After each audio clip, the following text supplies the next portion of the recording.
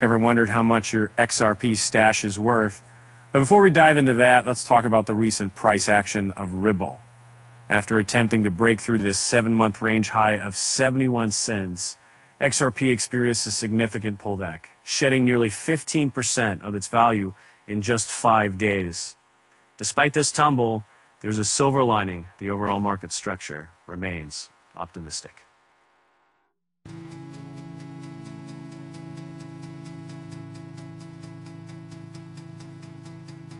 On the daily chart, the RSI hovers slightly above 50, indicating that neither buying nor selling pressure reigns supreme at the moment.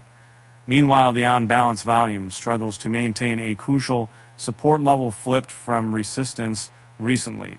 If sellers continue to dominate, the 6.525 barrier must be breached to shift the market structure from bullish to bearish officially.